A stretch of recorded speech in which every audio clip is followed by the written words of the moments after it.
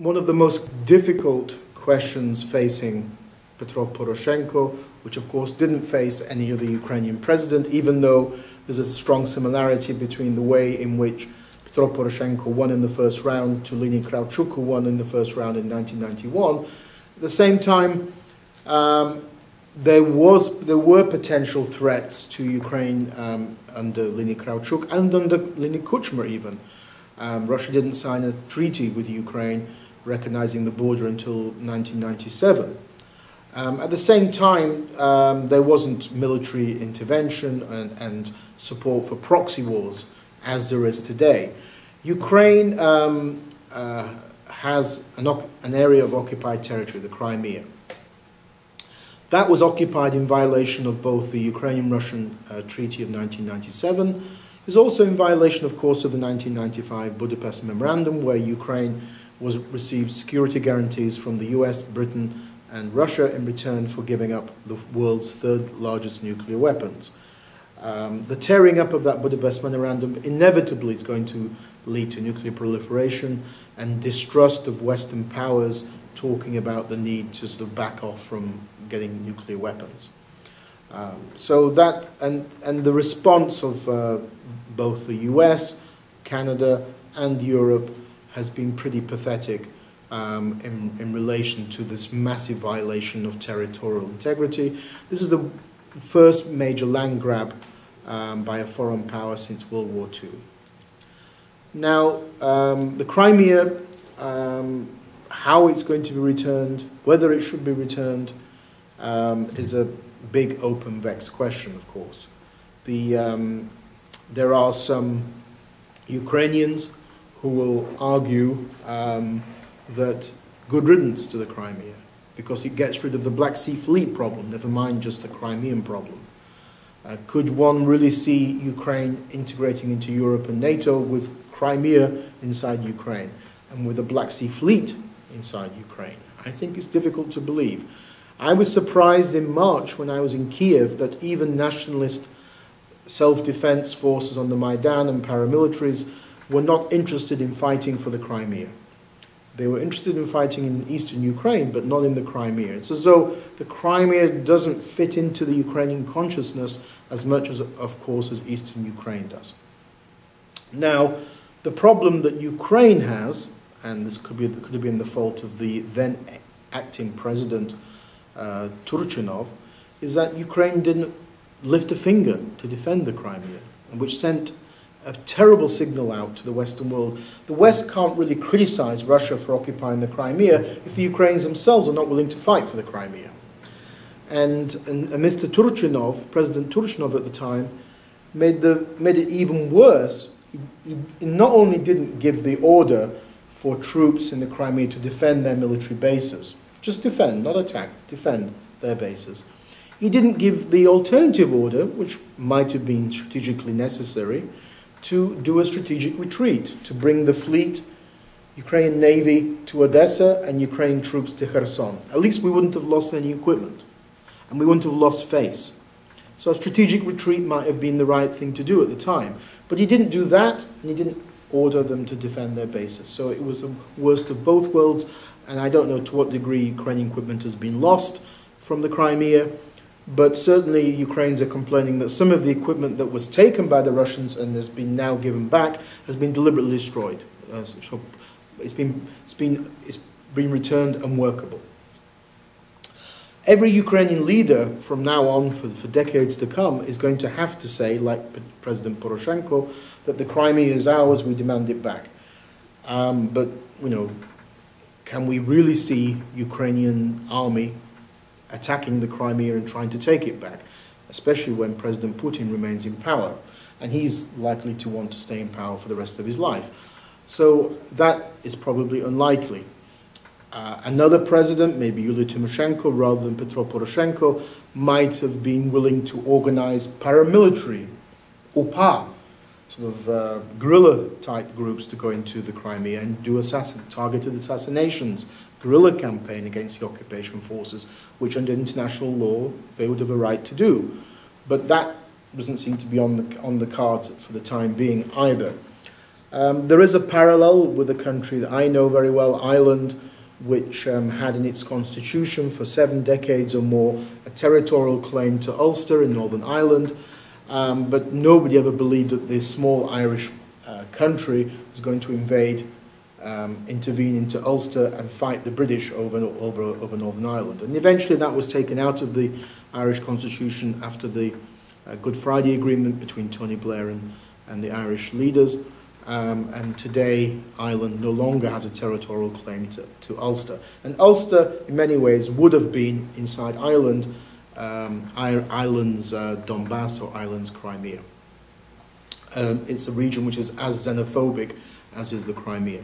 So the Crimea is um, a kind of closed entity for, for a while. Um, certainly, I don't see how the Crimean question can be somehow reopened as long as Vladimir Putin is leader of Russia. And he's, as I say, he's likely to want to stay around for quite a long time. Eastern Ukraine is a different matter. Um, there, the Ukrainians are willing to fight for East Ukraine. They do see um, the loss of East Ukraine, the loss of Donetsk and, and Luhansk, as potentially being a threat to the independence of Ukraine, which is not the way they see the Crimea. So they don't see the loss of the Crimea as a, potentially a threat to the independence of Ukraine, whereas in East Ukraine they do. So that's an important distinction. And Ukrainians, of course, are fighting um, in Donetsk and Luhansk. Where Putin miscalculated, it would seem, is that he believed that the whole of Russian-speaking eastern and southern Ukraine, about eight regions, um, would all en masse, in huge numbers, uh, protest, do uprisings, call in the Russian army um, in March, uh, April, and Russian army would then intervene in, in defense of its brothers, and Putin then would have his so-called new Russia and a territorial corridor to Transnistria, Moldova, and to the Crimea. That didn't happen. He miscalculated. Um, the protests have been pretty miserable and, or have not really taken place in all of these regions except for the two of Donetsk and Luhansk. And, and there is a reason for that. Donetsk, Luhansk are different uh, from the rest of East Ukraine, like Galicia is different from the rest of Western Ukraine. Donetsk and Luhansk, together Donbass, have a similar national identity to the Crimea. Um, there's very little ethnic Ukrainian component in both of those places. Um, it's heavily Russified, but more importantly, heavily Sovietized. Um, Ukrainian surveys have, have shown that the, the, the more dominant national identity in the Crimea and Donetsk is actually Soviet, not Russian or Ukrainian. Um, and not surprisingly, therefore, both regions were the home base and the hardline home base of the party regions and communists, both in Donbass, Donetsk, and in the Crimea. Um, and so it's again not surprising that um, the violence has been restricted to those two regions and not really in places like, for example, Dnipropetrovsk, where I was just in May, um, Kharkiv or Zaporizhia, because these have old historical ties to Cossack Ukraine. And there's a large ethnic Ukrainian component in all of those uh, regions. Um, we have in Dnipropetrovsk, where I visited, uh, a Jewish Ukrainian oligarch who's the governor of Dnipropetrovsk, running a Russian-speaking region, financing four battalions of Ukrainian nationalists to fight in Donetsk. Now, if that's not um, a multicultural Ukraine, I don't know what is. Um, Donetsk and Luhansk, what happened? Well, you had a monopoly of power in Donetsk, Luhansk by the Party of Regions. The Communist Party was a satellite party. People joke that CPU actually stood for Capitalist Party of Ukraine. Um, it wasn't. It wasn't a communist party in defense of the proletariat if it's uh, tied to tycoons and oligarchs. With the collapse of those two political parties, and I don't see those two political parties reviving themselves, so we have a political vacuum in eastern and southern Ukraine.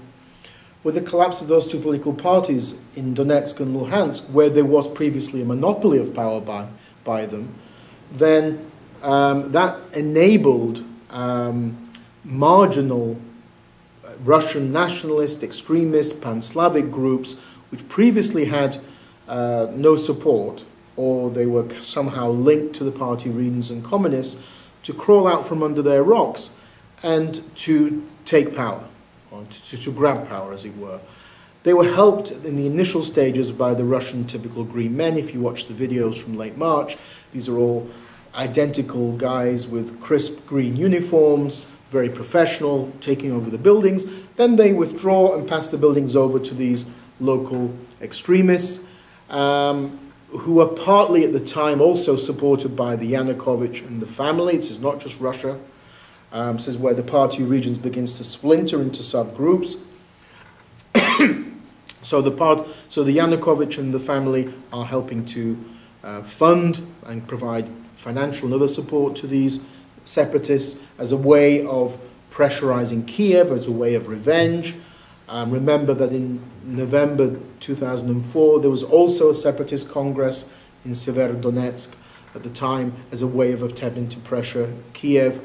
Uh, Mr. Yefremov, the leader of the party of regions faction, who's from Luhansk, is under criminal investigation as we speak for being a supporter of um, separatism um, in, in his native oblast of Luhansk.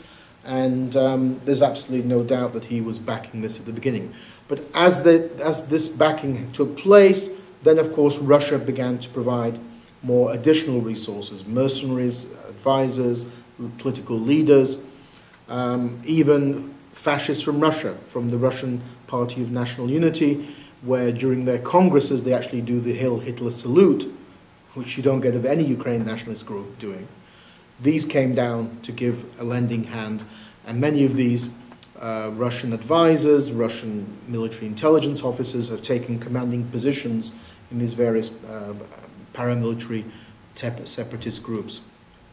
Now, the problem Ukraine has is manifold.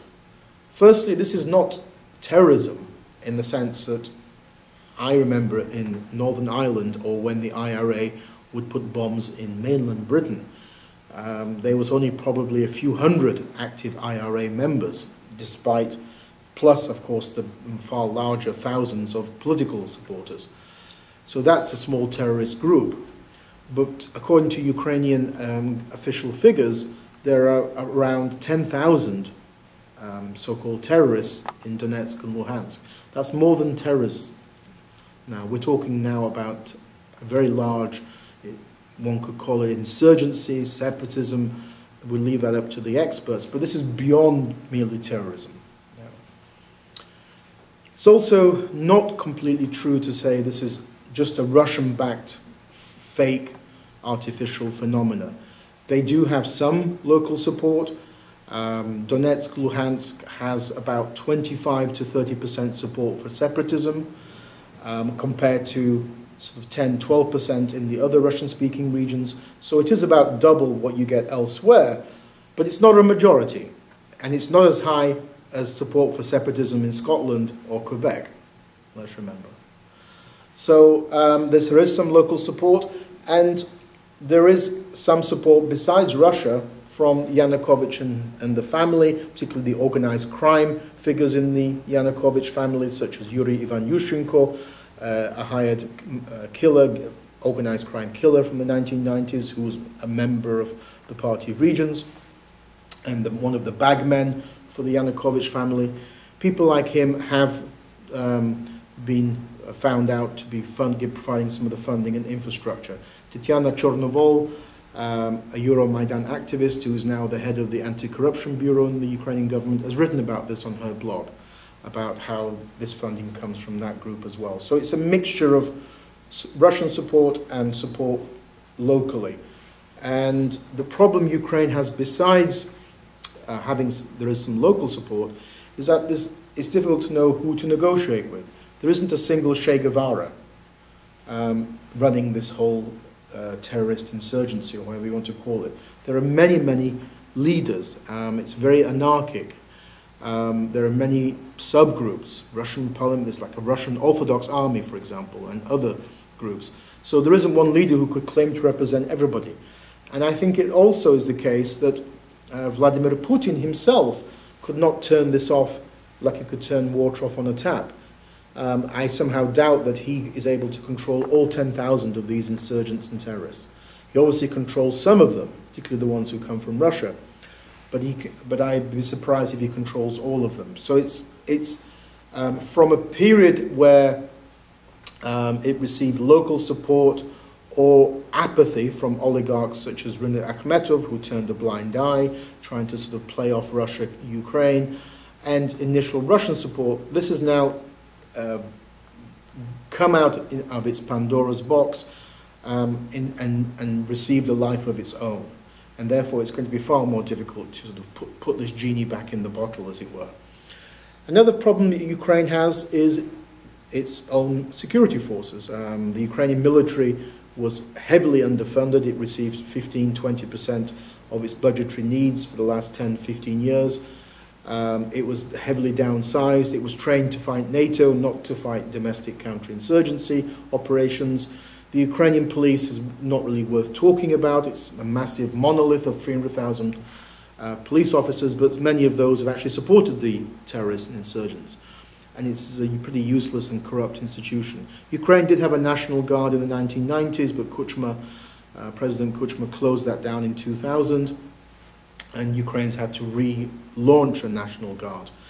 Um, the security service of Ukraine, right, like the Ukrainian military, were heavily infiltrated by Russia during the Viktor Yanukovych era, and even today on Ukrainska Pravda, uh, there's a report um, from one of the military information uh, services that there could be even a Russian spy in the central headquarters of the anti-terrorist operation, which would explain why many operations are caught out as they're actually happening, because the, the, the separatists receive advance information. So Ukraine doesn't necessarily have the forces to, to fight um, a coordinated approach to these terrorists, and it certainly hasn't used air power sufficiently. Um, there's also old cadres in power um, amongst these security forces. Only yesterday, finally, uh, the, the, the Euromaidan activists managed to force the resigna resignation of the commander of Ukraine's border guards. Who is the commander of Ukraine's border guards? He's been there forever. And it's the brother of Volodymyr Litvin, who was the snake and flip, he, he's, he's a person who could compete with Mr. Poroshenko to be Ukraine's most biggest flip-flopper um, in Ukrainian politics, the former Speaker of the Ukrainian Parliament um, and, um, and former head of President Kuchma's presidential administration, Volodymyr Litvin.